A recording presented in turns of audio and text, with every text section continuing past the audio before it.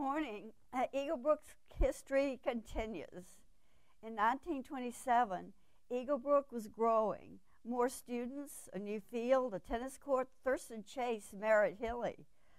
Mr. Gibbs didn't join the school on hikes to the rock. When he thought no one was looking, he sat down, his head in his hands.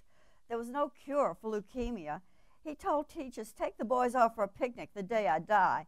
He wanted them to experience death as part of nature. That spring, the inevitable day arrived, and the school picnicked at a farm. Boys played with newborn sheep and goats. At Mr. Gibbs' funeral, the road was lined. Eaglebrook boys and faculty, village friends, valley farmers, Frank Boyden, and all of Deerfield Academy boys and faculty. Eaglebrook's band marched down from school playing Nearer My God to Thee, followed by the coffin.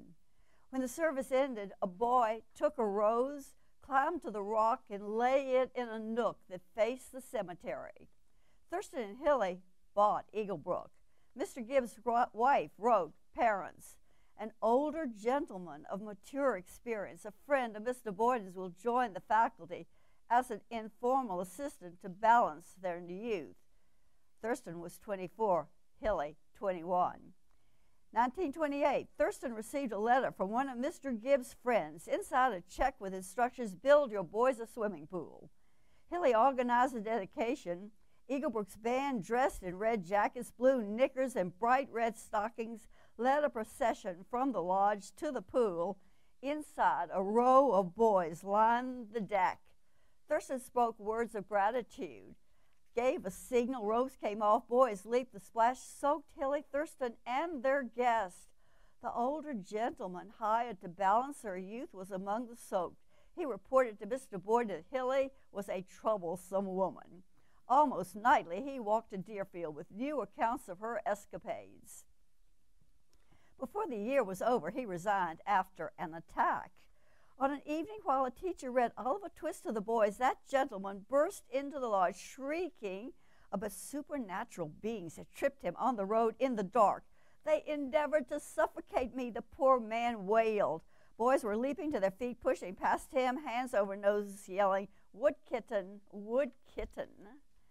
1929, Hilly and Thurston built a new building, three stores, a dorm, a dining room, infirmary, all in one building. Hilly planned a Halloween party jewels with rolled up newspapers, apples in tubs for Waterford bobbing, a house of horrors, witches screeching, the eyeballs, and plunging boys' hands into bowls of slimy peeled grapes. The stock market crash did not interfere with Hilly's plans for a Christmas party. Her pony, Pinto, wearing antlers, pretending to be a reindeer, arrived with Thurston as Santa and a sled full of gifts. Thurston's father, a congregational minister, told the Christmas story. At the end, he lit a large candle and in a booming voice called out, As one light enkindleth another, nor grows less, so noblest enkindleth nobleness. The boys sang Adeste Fidelis and lit candles from his. 1930, Thurston announced this will be a bleak year. The financial crisis worsened. He was glad that Mr. Gibbs had raised tuition to $1,200. He wrote parents about new charges $1 to pick up a package at the post office, $10 for a swimming lesson. He asked for their help. You will be the greatest assistance to us by enthusiastically recommending the school to your friends. He wanted addresses. We'll send copies of the Hearth, a school newspaper, without charge to them. 1931, the Chases refused to let financial worries interfere with school life. On warm days, spring and fall, in groves of trees in the center of campus, boys in twos and threes scratched out circles for games of marbles. A Hearth editor described a game. A boy crouched and surveyed the ring. At last, he selected the place to shoot. Putting the marble between his thumb and index finger, he took careful aim, then shot crack, one marble out. It was the other boy's turn. He didn't take his time, but shot right away, crack, out went another marble. Teachers feared too much marble playing will affect grades. Boys reminded them Mr. Gibbs always said what you do outdoors will lead to scholastic success indoors. 1932, to economize, Thurston created a dump for trash on the hillside. The dump caught fire when wind spread flame to surrounding brush. Thurston sprinted to the site. Within minutes, he organized the boys into shovel brigades. Some scooped dirt into buckets, others dashed with the buckets to Thurston, who, with a few teachers and some of the older boys, was throwing dirt onto the flames. The fire spluttered out. Thurston said, No matter the expense, we'll send trash to the town dump. That winter, a teacher introduced boys to hockey. He loaded them into his car and headed into the valley to search out a pond where they could skate. All were new to the game, except for Bill Whipple, who skated circles around everyone, puck flying along on his stick. That spring, Bill Whipple died in a car crash.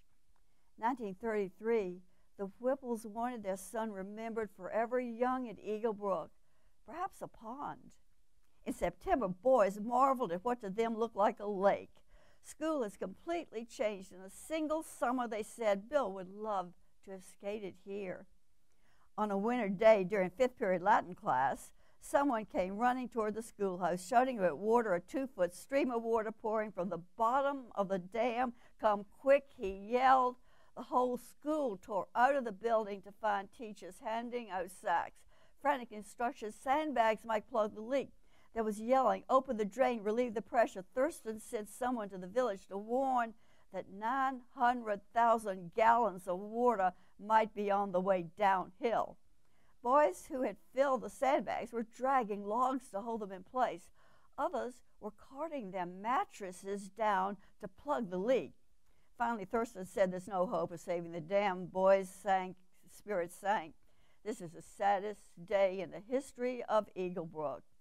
1934, the pond, rebuilt over the summer, had a new dam of thick packed clay. Alumni returned and said, Mr. Gibbs, our school is changing just the way he wanted it to be. Uh, one enrolled his son in the class of 1942. Before graduation, boys chose a good fellow, a friend of all, like Bill Whipple. Some grabbed his hands, some his feet back and forth. They swung until, on the count of three, their good fellow flew off into the pond. At graduation, the sixth form stood to sing Eaglebrook's first school song from the lodge and from Gibbs' house at Cubies too, and 1935. A harsh winter left two miles of the river jammed with ice that in some places towered 40 feet, matching the trees along the bank in height. Then rain began to fall, torrents of rain, and by afternoon the river, fed by melting ice and snow, was overflowing its banks. In the village, water rose five feet and kept on rising even more. Boys from Eaglebrook joined rescue squads, helping townspeople move possessions to second stories. We waded in ice cold water up to our hips, one boy said. Hilly in a canoe paddled from house to house, carrying off anyone stranded by the flood. At one house, Pinto swam back and forth, taking a mother and three children to dry ground. By night, rumors were spreading the upstream dam could burst, and 52 townspeople piled into their cars to spend the night at Eaglebrook. At midnight, we clambered out of our beds to make room for the refugees, a tired boy wrote to his parents. 1936, the Depression continued. Boys were thinking of ways to make money. We're a school of entrepreneurs, Thurston said. One boy set up a shoe shine business, one waxed skis, another had a photography business. The Hearth ran a headline win $1, finish the limerick, second prize 25 cents. The whole school began to create last lines.